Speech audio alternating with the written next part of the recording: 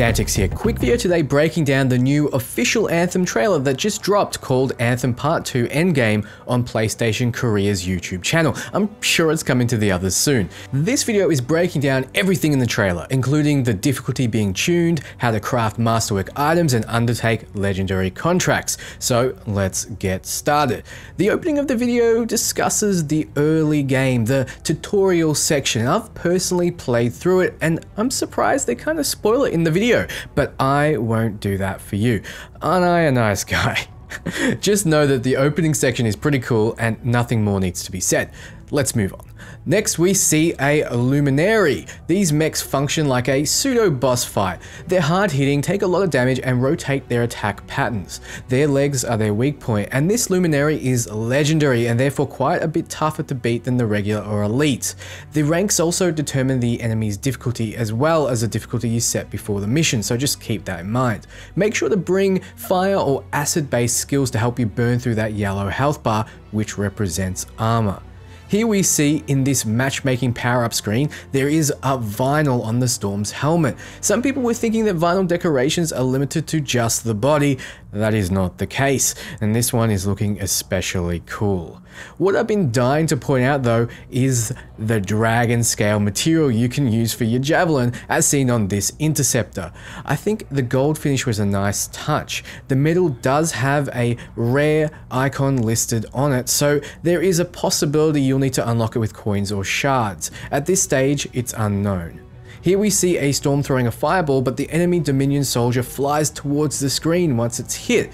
I don't remember these kinds of physics in the game, I just remember the soldiers kind of exploding into paste when they're hit with this skill. So if they've turned up the physics engine, I'm on board because frankly throwing people around like ragdolls is hilarious. Now here is a huge change I want to discuss, the difficulty. If you all remember, Easy was a 0% increase of enemy damage and health, and Grandmaster 3 was a 3100% increase. Now, we can see that the normal is 0% now, the baseline, and hard has been tuned to 52%. Grandmaster 1 is a 165% increase, Grandmaster 2 is a 430% increase, and Grandmaster 3 is 950% increase. This is no small nerf to enemy health and damage. This is actually pretty massive. Now, Grandmaster 1 is around the same percentages as hard used to be, and Grandmaster 3 is around 2.5 times less than what it was.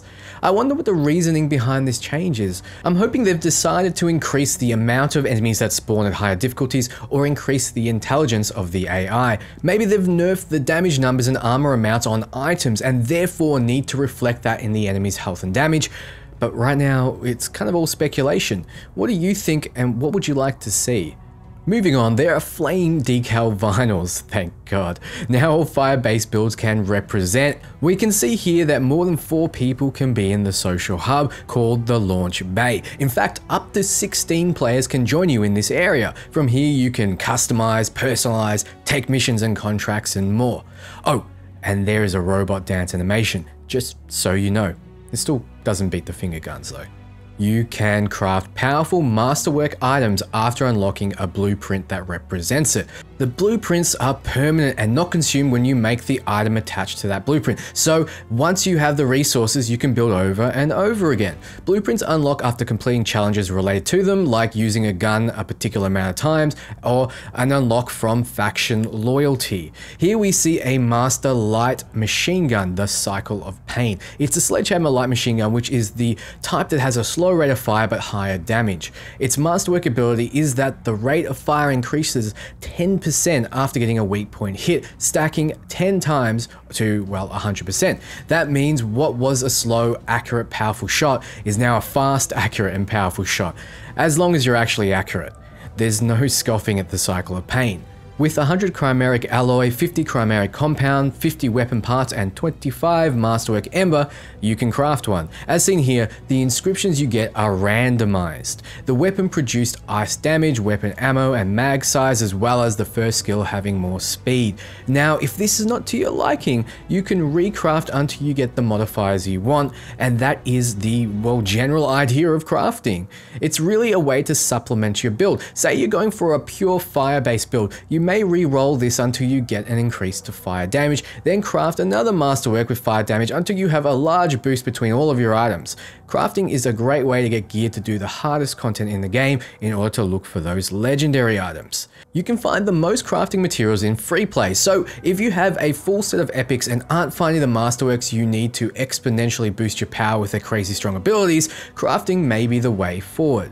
In the background, we can see another masterwork, Renewed Courage, which is a light machine gun as well, except this one is a Savage. The Savage has the fastest fire rate out of all the light machine guns. Its masterwork ability makes it so that if you fully empty your clip, your recoil will be reduced by 50% for 20 seconds, and it stacks twice. So you get this gun to have no recoil if you unload two clips, which would be absolutely devastating during boss fights when their guard drops, like when the Tyrant's sack bursts.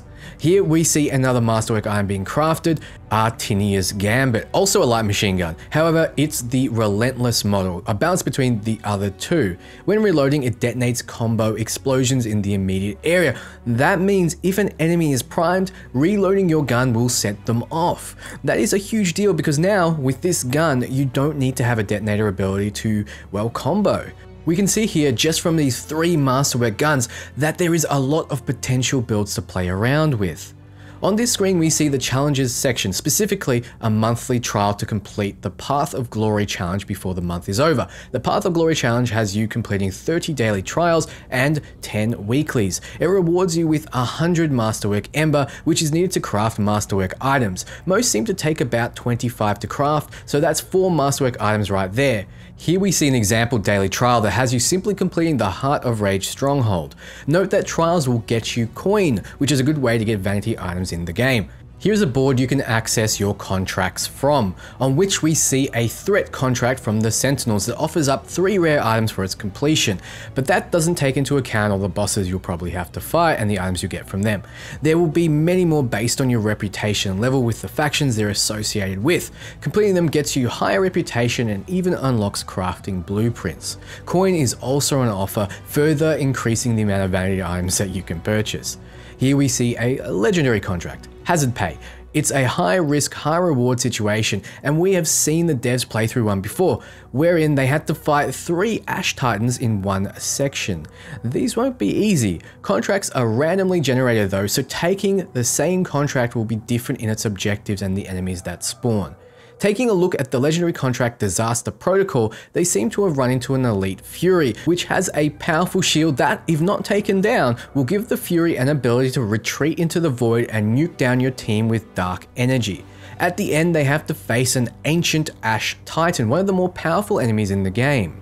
Doing contracts will be a way to change up the game with their randomly generated objectives and will be a lot quicker than strongholds.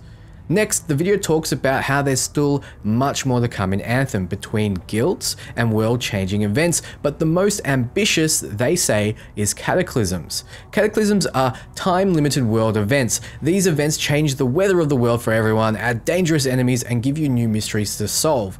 The devs have already demonstrated they can change the world globally for everyone whenever they want, and these events will have people scrambling into free play to complete them for unique and powerful rewards. I personally am excited for the full game. I didn't get a chance to try crafting and I feel like the ultimate loot chase will have me coming back for more between the dailies, weeklies and monthlies and all the different ways to play.